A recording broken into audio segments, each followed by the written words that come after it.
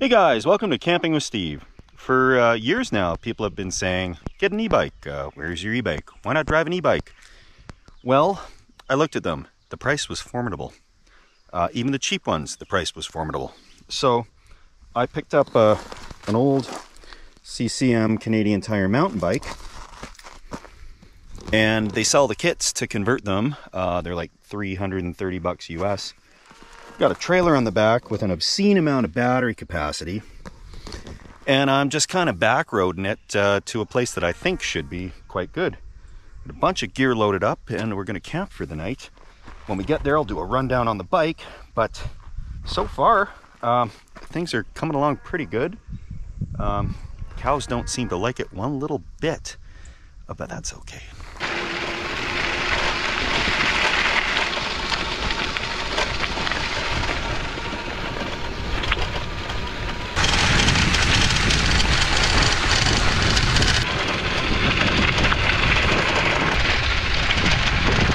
Onto a secondary highway. So we at least have pavement now. A little better than that gravel. I'm really scared of stuff falling out of the back there. But whatever happens, happens. Um, just have to backtrack if something falls out. And yeah, initial test run of this thing. So far, I'm impressed. Clicks along about 30 kilometers an hour, pulling all this stuff and me around. So, yeah, can't be that bad.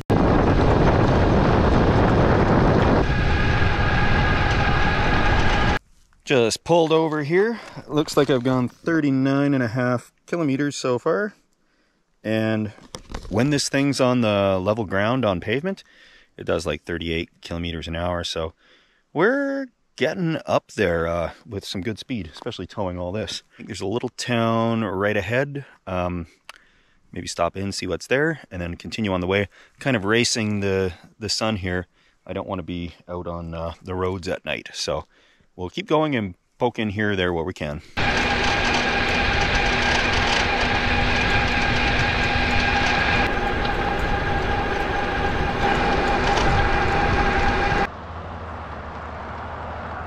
There's not a whole lot here. A little uh, grocery, lottery, video, post office, gas station, and liquor store. Um, it's like a curling rink or uh, community hall over there. There's a stampede ground um, and what looks to be a little restaurant up there. And I'm gonna head up the road. Uh, it's a little bit of a busy intersection, so hopefully uh, there's not too much traffic going up the road.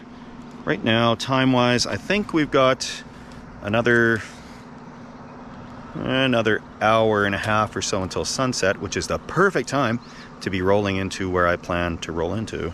So let's go.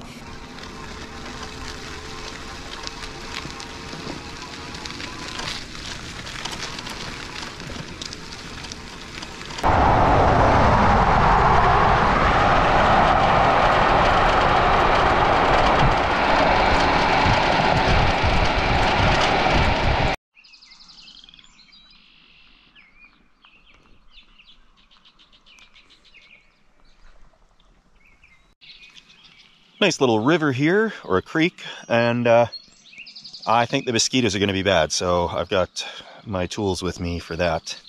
The pavement highway here, we're off of that. Uh, just got to go down this no exit road, but it looks like somebody's parked up there. Mind you, I'm not doing anything wrong yet. So when the coast is clear, I'll just drive across and see what's happening on this uh, gravel road. Totally the car's coming, so I'm just gonna wait for them to go whichever way they will. Oh, great. Uh, two bars of service here. Oh, it's better than better than nothing.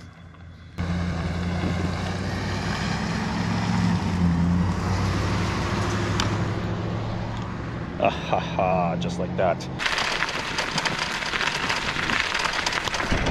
I'm gonna have to reinforce this trailer a bit if I'm gonna do more roads like this, which I will. It's designed for 100 pounds, probably on nice, level, uh, paved roads. So taking them down back roads, flying down at 30, 40k an hour, is probably going to make short work of it. But this is uh, an initial test run, and I've learned a few things, we'll go over that.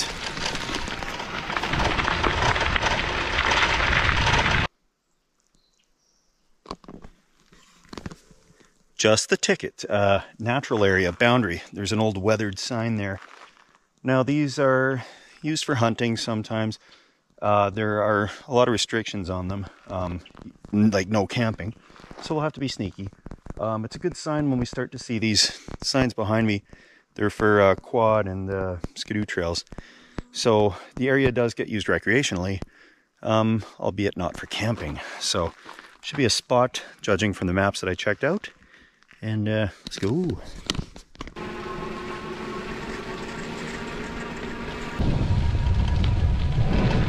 That trailer's really taking a beating. I'm gonna have to probably tighten up some stuff when we stop.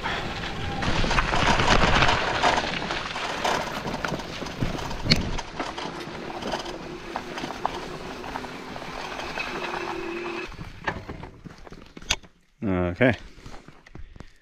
Well, here's a wide open space. There is what looks to be a disconnected oil well there.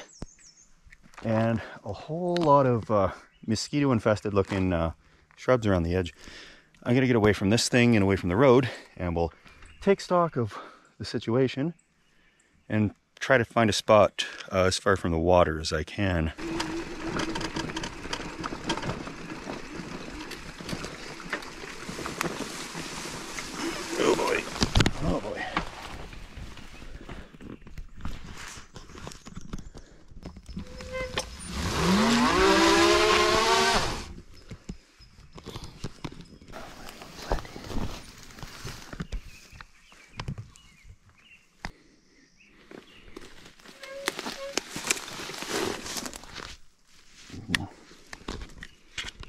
There's nowhere far from the mosquitoes.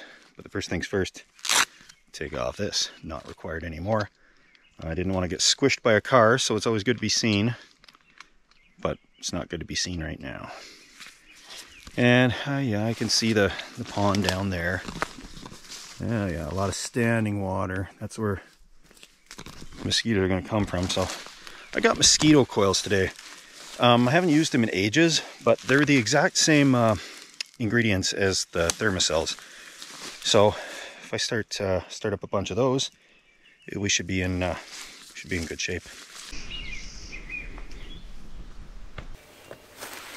When I started putting this uh, setup together, I said, "Oh yeah, lots of room. It'll fit. Everything will fit." And then by the end, it's all bungee strapped on, of course. So we'll evaluate this, get it a little more organized. Um, I don't need all the batteries that are in here. I'll show you that uh, in a sec.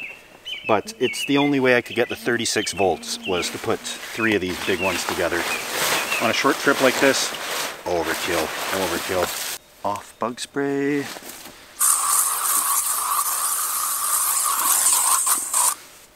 Begin with that.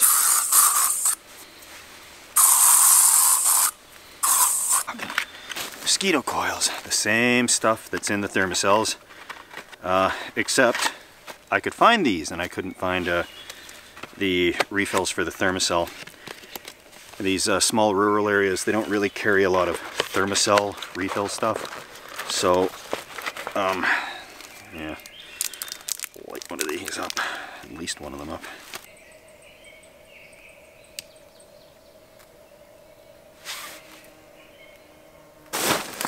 The Thermacell is far more convenient but this, I'll just uh, set it up on top of these highly explosive lithium batteries. Actually, these are uh, lithium iron phosphate. They're not that, uh, not that dangerous. Okay.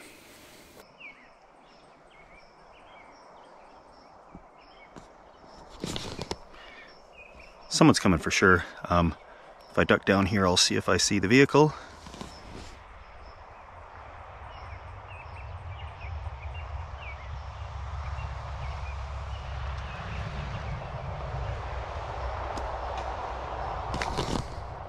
perfect. Uh, can't see a thing. Uh, tucked away nicely here. There's a little hill. Perfect. The basic rundown on this bike was uh, the front wheel has a little motor in it. And the kit came with this motor, this little thing, the two brakes, which uh, replace the ones that uh, are on there, and uh, throttle control. That. It does come with like a pedal assist sensor I couldn't fit on this bike and a little control module on the back. So basically I just switched those out, switched the wheel. Um, I was starting to film it, but there was a lot more profanity uh, than I enjoy in my videos. So I'm not like a technical channel. I'm more into the e-bike for just the sheer adventure of it and not to show off uh, tech reviews. I actually had to Google um, and YouTube a fair bit of setting this up because the instructions weren't all that clear. With the batteries, each one of these is like a 12 volt lithium iron phosphate battery um, at 100 amp hours. So I've got them in series, so I got 36 volts at 100 amp hours, which equals 3,800 watt hours of power, which is really overkill for an e-bike. Um, the motor draws 500 watts, so it would run for about seven and a half hours straight, giving me 220 kilometer range without touching the pedal, which is about 140 miles. Um, that uh, is quite impressive, and the way it was going, pulling this load, it's like it wasn't even there. I was too scared to look at what the speedometer was reading, uh, but I'll look at that later. Definitely no widowmakers here. Uh, the beavers have been chewing these trees down like crazy. And uh, I brought the camo tent today because I wasn't sure if I'd be able to find trees for the hammock. And get this done while there's daylight.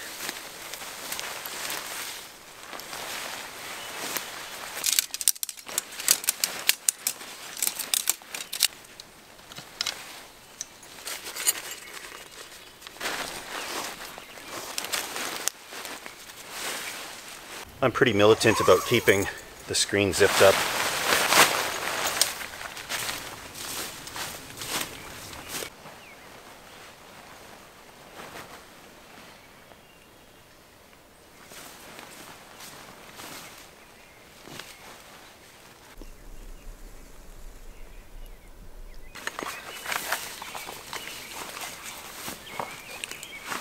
The only downside with um, the tent is I got to bring a stool. In the hammock I can just kind of sit underneath of it. But uh, this is not bad. Step one accomplished. Time for step two. Oh yeah, all the bumpy roads. I forgot about that. That's uh, one of the things to consider uh, on a long bike trip is uh,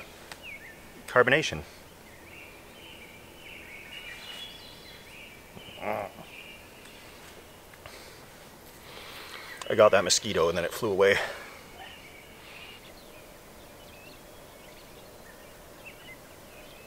Time for the infamous stealth test. While we've still got daylight and I don't need a flashlight, I'm gonna do this. Uh, we got our old wellhead over here. Just walking on over. Anybody driving along that road, if they pull up, this is what they'll see.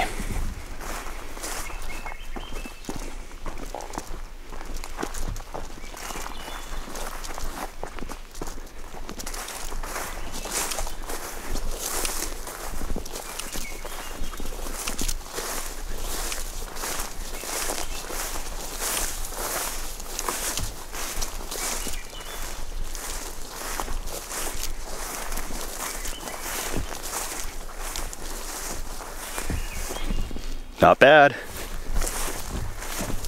Things are getting chilly. Considering it's a natural area, there's the possibility of nature.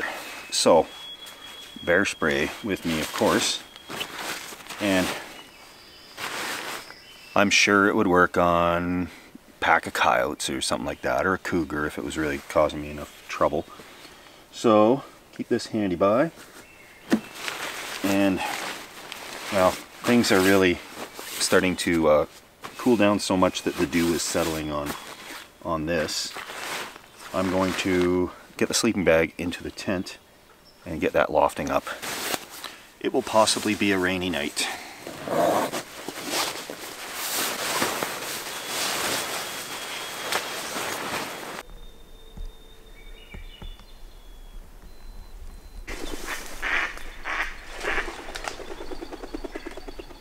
Thought I heard something. Wildlife.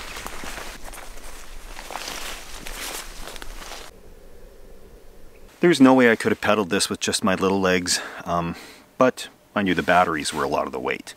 So yeah, it probably could be done, but I love having the battery backup because one, I got a bad hip, and two, on those rainy days where you just want to get there quick, which tomorrow might be. I don't have a lot of rain gear, but it's only supposed to drizzle a little. Um, we'll see how that goes. Little fog rolling in. That will provide a blanket of extra stealthiness.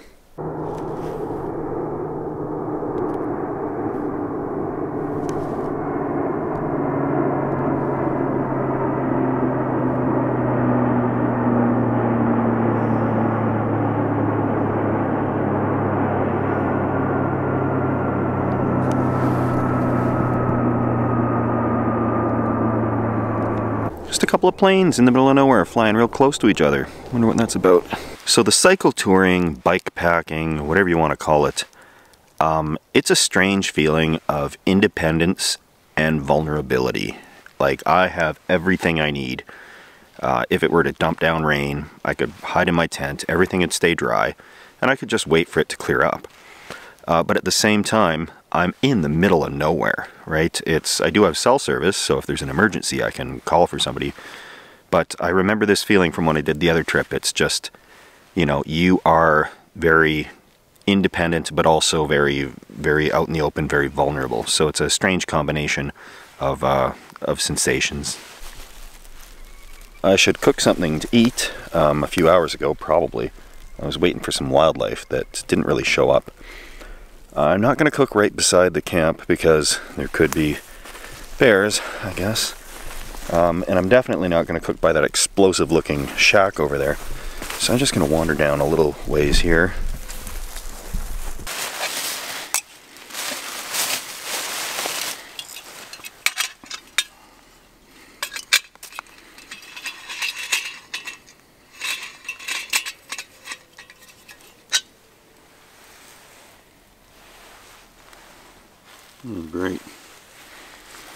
Missing a part of the stove. Uh, that probably rattled loose in the cart back there. So that will make these uh, smokies a little bit trickier.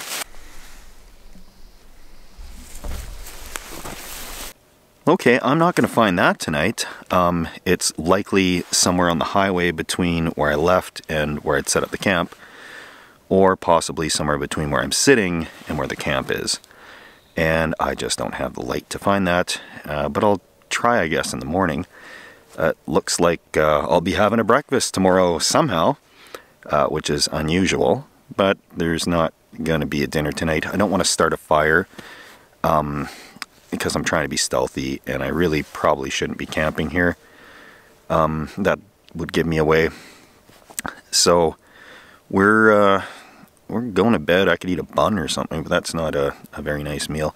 The dew is settling on everything, including the lens.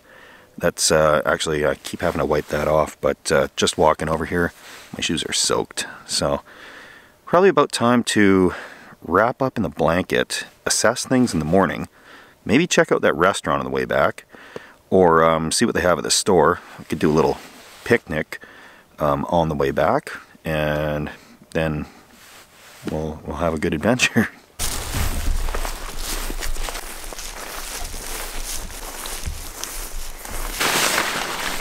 Just getting everything covered up.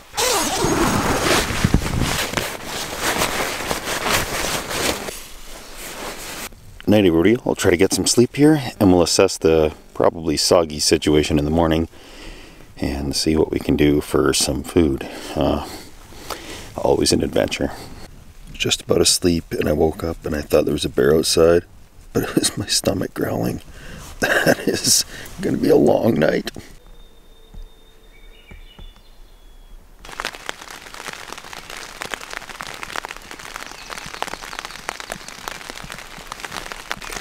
Rain it is.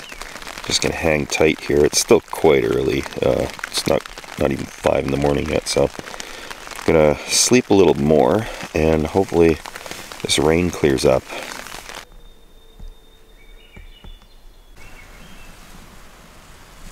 there you have it. When in doubt, wait it out. Uh, stopped raining, and it took a lot of hunkering down, but we did it. Things are drying off nicely, and uh, we can start packing up. Out of the tent, it is a little chilly, I must confess. Uh, it's not going to be super pleasurable riding through this uh, on a bicycle at 25 miles an hour. So I'm going to take it a little easy on the way back. Um, the way here was kind of speed testing the thing, seeing what it could do, racing the sunset. But now that I got a good indication, I can uh, I can pretty much just take it easy on the way back. Really hoping that restaurant we drove past is open, and uh, I don't care what they have. If they don't have breakfast, I'll have dinner. I think it's a Chinese place too, so whatever it is, I'll eat it, and then. Uh, I'll keep my eye open on the way back for a part of a missing stove.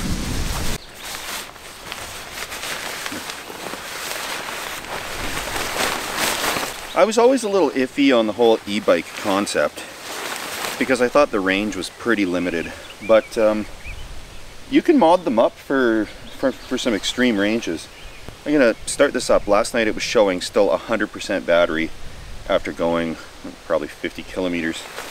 So I have no doubts that this thing could go probably that 200 plus uh, kilometers, 140 miles or so. And of course it's not the most accurate battery gauge, but gives me a rough idea. My conclusion is I need smaller batteries and do shorter trips or a bigger trailer and do longer trips those are the two options right now.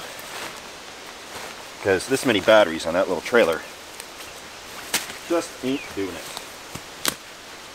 This tent I'm using is a gear top. Got it from Amazon. Um, I thought it was pretty funny. Um, I've been using this for a year. Um, the company didn't provide it to me. I, I just got it off Amazon because it looked like what I needed. And, and I get this unsolicited uh, request for a product sponsorship review thing, and it's them. Uh, and they start off, of course, like, we love your videos, Steve. We love your camping videos. We've been watching you for a year. Um, we're wondering if you'd be interested in uh, us sending you a Geertop tent to use. And I was like, obviously they're not watching the channel. I've used this a bunch of times. But uh, it's a little disingenuous. They always say that we're a big fan of your channel. They're not. Um, they want to sell more tents. But for what it's worth, it keeps me dry and it packs up small. So uh, the camo color could be a little more camo. But uh, yeah, it's pretty quality from the times I've used it.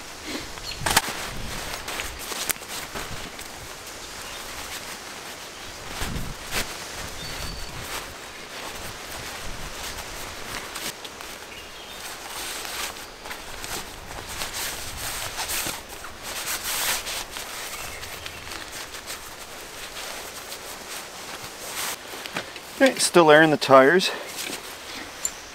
This part of the hitch concerns me. If you see that, it's it's loosened off.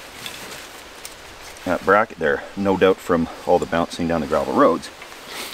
So I'll tighten that up and keep an eye on it throughout the trip. A lock washer or something on there.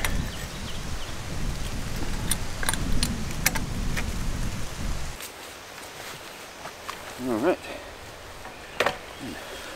we're off.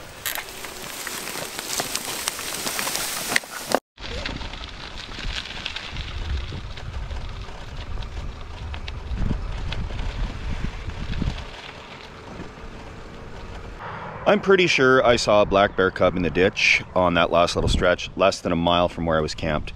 Uh, I didn't get close enough before it ran into the woods, uh, but that means there's a mom nearby. So I'm kind of glad that um, I didn't fall asleep covered in uh, mustard and uh, smoky drippings all over myself. Uh, that would have uh, just been a little bit too tantalizing for them. So, uh, about halfway to that uh, little salt and pepper restaurant, and we're gonna check that out. If it's open, we're gonna eat, that's for sure, because I'm hangry.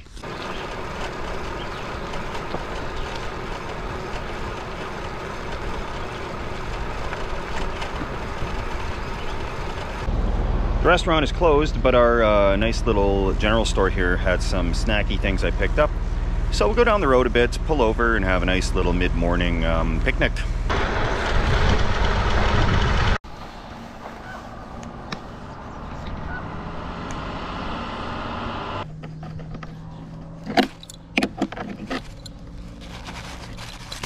Yeah, so unplug it, wait 30 seconds, hopefully that resets our batteries, and uh, we should be good to go. That did not do the trick, so I've undone all the things between the batteries here. Now wait for a minute or two and then uh, give it another try and then I'll try pedaling for a bit I guess um, but that doesn't seem very fun. No amount of messing around with the batteries uh, was able to get this to read 100% again until I went into the settings and changed it to expect a 24 volt load. So we may have one battery that's died uh, on us uh, and that we'll figure out when we get back. So we can hopefully limp back on 24 volts and we apparently have 100% power left when we're running it at 24 volts. So limp down the road to the pickup spot and let's go.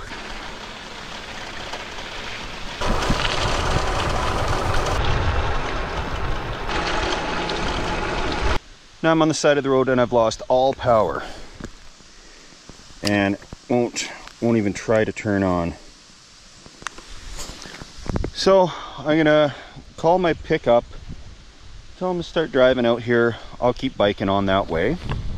Um, but I do have to give, of course, a big shout out to all the folks that have uh, contributed to the channel. So thank you guys very much. Um, I like to, you know, reinvest that into interesting projects like this type of thing. Um, and I don't like to go and get the, you know, two, three thousand, four thousand dollar e-bike type of thing because although it would be more reliable, I'm trying to test out things that are attainable to a lot of people because, you know, who's going to go out in this economy and like drop two, three grand on an e-bike? Um, you know, it's I uh, not me. so I tried this. We'll mess around with it some more. Um, it was a little trip to work the kinks out, and I've got a ride coming. So Thank you all for watching. Please consider subscribing if you uh, enjoy these things. I was tempted to kind of hide a lot of the weight in the ditches and then come back for it in the future, but these batteries, provided they're not uh, messed up, um, they were pretty expensive. So uh, they're hopefully okay. Uh, they're multi-use for the boat, for the school bus, uh, for off-grid projects, the treehouse. So I use these batteries everywhere. And I hope I didn't bash them around too badly on the roads and that's uh, I guess one of the things is it may not have been an accurate state of charge. Uh, I'm kind of hoping um, it's just an inaccurate battery meter and that they're they just need to be recharged. So we'll find out when we get back. But as of this moment, I cannot recommend this um, this e-bike kit, and that's half the reason um, that I don't do those sponsorship stuff that people send me or want to send me, is because um, if the product's bad, what am I supposed to say? You know, like send it back to you. Uh, but anyway, I'll do some more experimenting with this, see what's wrong with it, and um, if it's if it's salvageable, uh, I'll put it onto a better bike because I love this e-biking thing. Um, unfortunately, just not with this particular setup. So, Steve out. See you uh, next week.